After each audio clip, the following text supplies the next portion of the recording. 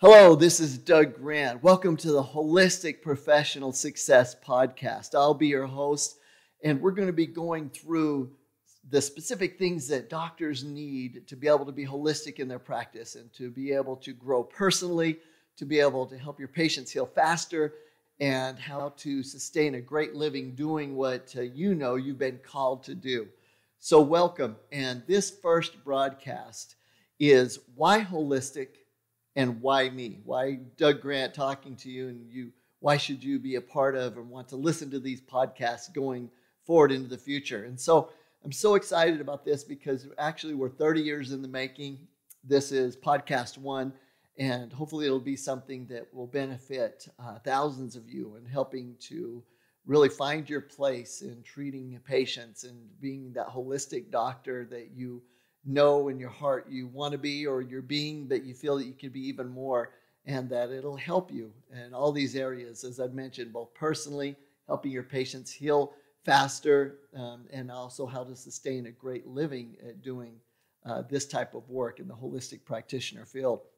So let's talk today on Pod One about what a holistic, a holistic health professional is and what it means to you and why me? Why would you be listening to me to help you through this process or to give you things to be able to help you get to that next level? So, first of all, is, is holistic. So, let's really break that down. I think that most people understand holistic means the whole. And in holistic medicine, we're talking about treating the whole body, uh, not just one aspect of the body. And I like using the acronym that uh, created decades ago to make sure that I would stay holistic when I helped people or when we train doctors in making sure that they hit every aspect that's needed with the patient. And we use the acronym FITNESS. And actually, I wrote a book um, called Optimal Fitness that goes through each of these sections.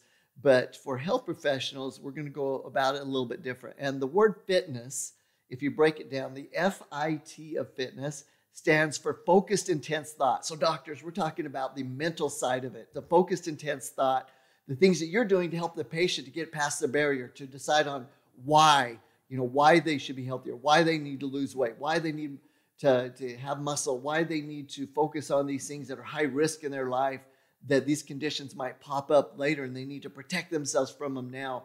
Um, the mindset of staying consistent with your habits, uh, all those things, the focused intense thought that part of your practice is really important. And we're going to be talking about bringing experts in to help with that so you can choose which things you should do for the mental aspect of your business to help patients holistically. That's the FIT, focused intense. The next part of the acronym of fitness to stay holistic, to treat the whole body, is the N. And the N stands for my favorite, nutrition. And uh, nutrition is so important. We know that uh, eight out of the top 10 diseases, the reasons that we're going to die that cause infirmity, cause a low quality of life, are due to nutrition. Uh, we also now for the first know now for the first time in history that nutrition, your eating habits, is the number one risk factor for all disease. For all disease, it actually um, took over the spot that smoking was at for decades and decades. So, nutrition is so critical, and we're going to be talking about what you do in your clinic to help your patients improve their nutritional status overall, to be able to help fight disease, to actually get uh, fixed conditions, to be able to have their body have the nutrients needed to heal, um, also to reach optimal health and performance.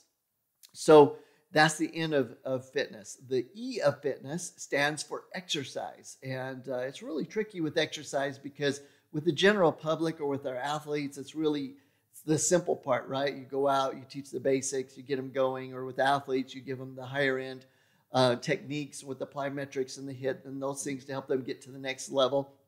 But with patients, it's a little different because depending on the condition, will depend on how much exercise they can do, should they be exercising, and all those factors. And so, exercise is real critical. What to do with low back patients, with neck patients? Should they still be moving? What should that movement look like? So, exercise is important factor in uh, treating the body holistically. And we're going to be going into the things to do to be able to help your patients in that area. And then the SNS of fitness, it stands for specific supplementation. And specific supplementation comes down to research based. What does research show we need to be recommending to patients to be able to help them heal faster, to be able to create homeostasis, balance in the body, to be able to help them even perform at a higher level if that's their choice, whether that performance is longevity or that performance might even be true performance. They're wanting to do a sport or they're wanting to improve in an area, whether it be maybe to do a, a, a mile run, a 5K, whatever it might be, a Mudder course, or whatever it might be that uh, someone might want to have a goal for. Can we help them in that area um, through specific supplementation? And uh, the answer is absolutely, but but we want to stick with the research and not have you know the snake oil salesman just this this this and this type stuff and how can we do that in a practice to build your credibility with supplementation versus how people say you're just trying to sell them something. And we're going to be going through that and how supplements can actually build your credibility, build your practice as a part of being holistic. Um, again, so the fitness acronym is going to be a huge part of the holistic um, uh, professional program and the holistic professional success podcast itself so that we'll be able to find the experts in each of those areas. So, another, in order to know um, why me uh, in teaching holistic. It uh, really, we can go back to a backstory that will help you understand, uh, again, why you should be holistic, or if you are holistic, why you should focus more on that balance within your clinic, and then also why um, it would be beneficial to uh, be a part of this podcast moving forward and to uh, let me help guide you through bringing in the experts and the people and looking and talking about the systems that are in place. And so to understand that, we really have to get back through the backstory. And that's actually an exciting story that I want to share with you that'll hopefully inspire you and empower you to be more holistic, but also to follow this podcast and apply these principles that uh, will be teaching you in your own practice. So it really starts back when I had a great passion and desire for health and fitness. Um, I think a lot of it came from wanting to be a better athlete in school, but being smaller. And I think, man, I've, I've got to have some advantage that um, I work on if I'm going to be able to compete against people that uh, seem to me to be genetically superior or were better, uh, bigger, stronger, that type thing. And so I think having that mindset actually helped me a lot because it made me want to do things a little bit different, um, eat a little bit differently, do some different movements or exercise a little bit more different than others to try to get that advantage. And I realized really quick that um, that was a great field of learning and that that we could that could go into, and that nutrition was a huge part of it. So that was an interest growing up. But then, um, and going to school, uh, I was working actually, um, had a, a, mechanic shop, and I loved race cars and, and doing some racing and things like that. Uh, but it was this that I thought that was what I was going to do business wise for a while until I got my degrees and everything in nutrition and and I wanted to do something in the exercise nutrition world, but I was having to work in the meantime. And so I was going to school, getting uh, my nutrition and, and uh, exercise uh, research going on. And then I was in a warehouse working at a tire store and I fell and there was a tire on the ground and it hit the small of my back so that my head and my feet hit the ground but i was facing uh, up toward the ceiling and it caused quite a bit of damage but i found myself in Barrow's Neurological Institute and um, it was a really interesting experience and uh, i recovered and it was a spinal cord concussion um, it lasted a while but because there was uh, a time when we didn't know exactly what it was uh, it really was a scary time. And I'm sitting in this huge, huge hospital, and there were multiple doctors that would come in um, the overall doctor, neurologist, different specialists, spine specialists, all these people. And never once did they get together and look at my body holistically. And, um, and maybe it was the times, it was back uh, late 1989. I don't know what the situation was, but but a doctor would come in and then talk to another doctor, and they're like, "Well, we want to do this because I'm the specialist in this area, you know, with nerves or with spine or with whatever it might be." And I was really confused because I was kind of left to try to figure things out, and um, I realized that I wasn't being treated holistically, and that was a big factor. And I'm like, "Gosh, guys, let's talk. Let's see, you know, maybe I can help with some things that I know and that." And what am I doing nutritionally? This food I'm getting fed really isn't, I know, the best thing for me right now to heal. It wasn't raw, it wasn't fresh. And, and so it, it, it really was this turning point for me. And I had this paradigm shift and this aha moment. And I called a good friend of mine that was a holistic health professional. He was actually a chiropractor, but he was uh, practicing very holistically. He was uh, working with a different medical doctor, different groups and, and, and modalities that was treating the body um, holistically the best that he could. And so I went to this clinic and I still was paralyzed and was still trying to figure out uh, what the deal was and to heal. And over time, I was able to heal and get better, but it was by applying the principles. And what I was brought to the table was the nutrition side of it and uh, the formulation side to try to create things to be able to deliver nutrients at a faster pace to the cell level. And that's where my formulation beginnings uh, be, uh, came from. And so um, I went through this, and luckily, right before all this happened, um, I was reading a book, and it was called Think and Grow Rich by Napoleon Hill, and he talked about not having to, uh, you know, really worry about being an expert in every area, but but to assemble it's called a mastermind group, and so that's what I did, and I was able to get the help that was needed, and we're going to talk more about that in Pod Two, but um, I I really understood the importance of bringing in this team. And so I did. And I was able to, for myself, get the people that was needed to help me in the area of nutrition, um, supplementation, and even exercise rehab to be able to get the degrees and to be able to have the expertise to, to rely on to be able to prov- provide those parts to my healing.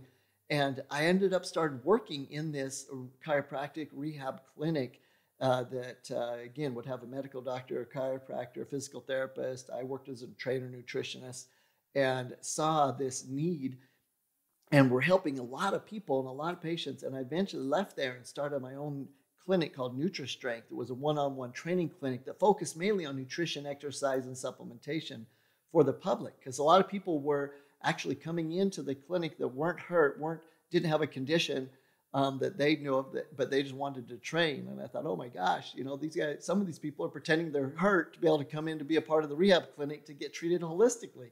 So I opened up this place called NutriStrength. And uh, we had great success. We trained over 40,000 one on one training sessions. If you came to us, um, you signed this document, we were able to go in uh, to your home with your permission and look through the cabinets, tell you what to get rid of, what to buy, what to do. They trained with trainers, no one trained on their own. It was really neat um, uh, business, a NutriStrength business. But what I want to jump to is I eventually realized that the true love and the way to help the most people was to get back to help the doctors be holistic, to apply the things we had at NutriStrength, the nutrition, the exercise, the supplementation to help. Um, and with what the doctor was already doing, whatever the specialty was. And so we became what's called optimal health systems um, that started way back in uh, 1997. So long after, you know, almost 10 years of putting and developing programs and systems, we started Optimal Health Systems, which main focus is to train doctors and help them be more holistic and provide the systems to be able to accomplish that. And that's what led us to this. And to this day, um, we've trained tens of thousands of doctors all over the world. Uh, a lot of you probably come to our seminars that we teach uh, different places throughout the nation or take advantage of systems that we have. Some people rely on us for one area to, to be the help with nutrition. Uh, most rely on us in the area of whole food supplementation, or it might be in exercise, whatever it might be. And we help be that little extra cog in the wheel to be holistic in your clinic. So that's our specialty. And that's the main thing we focus on is teaching these systems to doctors so that they can be more holistic in, in your practice. And so um, when I was at NutriStrength, there was another big aha moment to me, different than the, the Neurological Institute. And it was this it was we're training people, and people were getting phenomenal results, results different than people that would normally just start eating right or exercising or whatever it might be. And people were getting better faster. They were um, accomplishing their goals faster, reducing body fat, gaining energy, and that, then going to other places. And we became known for this place that got results. So much so that all of a sudden, um, different celebrities would come in and we start training them. Some of them were local, like the local newscasters, things like that. But one of them was a professional athlete by the name of Danny Ainge that played basketball at the time. He came from the Boston Celtics to the Phoenix Suns. And he came in and he had a problem with his liver.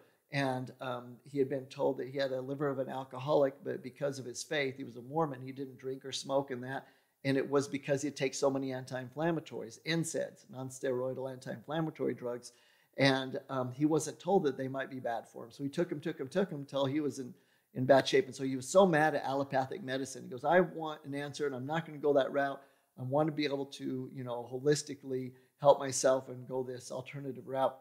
And so someone referred him to me and we helped him. We gave him some different nutrients. A lot of you know um, we pre-digested some milk thistle and different things to help with the liver and get him under control and cleaned up his diet. And I started training him in the off season to get ready for the next basketball season through our clinic. And he had such great results and so fast and different, even though he was already at a high level, that he referred a friend of his named Dan Majerle, who also played uh, professional basketball. And it went on to a man named Charles Barkley, that some of you might know of, to a day that um, is important for you to understand that when you're holistic, you set yourself apart. And if you're truly holistic, doctors, um, or even people that are watching this in the public, making sure that you're holistic in your approach to your health, make sure you cover each area, that things happen differently and you attract people and you attract things. And so we started attracting because we're being holistic um, in our teachings and, and are working with people. We attracted these athletes and that. And then one day I got a phone call, and I got this phone call from this lady. Her name was Ruth, and I'll never forget it and she said, "Hey, um, the owner of the Phoenix Suns, the owner of the Arizona Diamondback baseball team, the owner of you know, list goes on and on and on, um, wants you to uh, wants to meet with you in his office downtown Phoenix." And I'm like, "Okay." And she says, "How's uh, today?" I'm like, "Well, I've got clients all day long." Um, and she goes, "Okay, tomorrow at whatever time it was." And uh, I'm like, "Okay." And so, so I go in. I'm a little bit nervous, and with Jerry Colangelo, what happened was I sit down in this big oval office overlooking Phoenix, and he told me, he said, uh, he asked a bunch of questions, kind of talk, and I'm, I'm feeling a little bit comfortable. And then he says, Hey, you're not going to get paid by these athletes anymore. And they're, none, they're not going to pay you anymore to train them, nutritionally advise them, create these formulas that you're making, the vitamins and stuff for them. Um, they're not going to pay you to do that anymore. And I was devastated. And uh, then he let me kind of sweat it out for a second. And then he said, Well, because I'm going to hire you. You are going to be the first nutritionist uh, ever in the NBA hired by a team, by the Phoenix Suns, and uh, you're going to work for me and my organization and work with the Phoenix Mercury, the women's WNBA team, the Arizona Diamondbacks, uh, all these teams. And I was just dumbfounded. All of this from being holistic. And then that went into you know decades of a career of working with and for uh, teams in the NBA and other leagues and, and Olympics and all that type stuff. But the point being is, doctors, is you will find that you're going to attract people to you because you're holistic, because you find a way to truly treat the whole body. And it, and it does take work, but we're going to go through how to do that and to create that balance and with your time and your energies to be able to do that. But what it does for you to be able to help people at so much of a higher level, to be able to attract people to become known and to really have your influence go from, like in my case, being at the training center, NutriStrength, being able to help people myself. I had up to 12 trainers working for us. And thinking, man, we're, we're making a difference in the world and we're training and all that. Think, but then realizing, man, that's just a small part. Just this little group here in Arizona um, really need to help more people. And that's how come Optimal Health Systems was formed, that we're, we're able to transcend that small area to help thousands and thousands worldwide, uh, eventually hundreds of thousands and millions. And you're in that same position. You help people within your area as a holistic health professional, but you have the ability in being holistic and really becoming known for that balance of helping people to transcend your area and to become legendary as far as helping people around the world, whether you like it or not, that you actually, or your desire to do that or not, you actually touch people and help them in larger ways. And that's really one of the neat benefits, whether it's a goal of yours or it's just going to be something that happens. So, doctors, the holistic health professional is a person that treats the whole body. And we're going to use the acronym of fitness focused, intense thought for the mindset. What do you do to help your patients with the mindset? the N for nutrition, the E for exercise, the SS, specific supplementation. We're going to go through each of those areas and how to make sure you apply them in your clinic. And why me?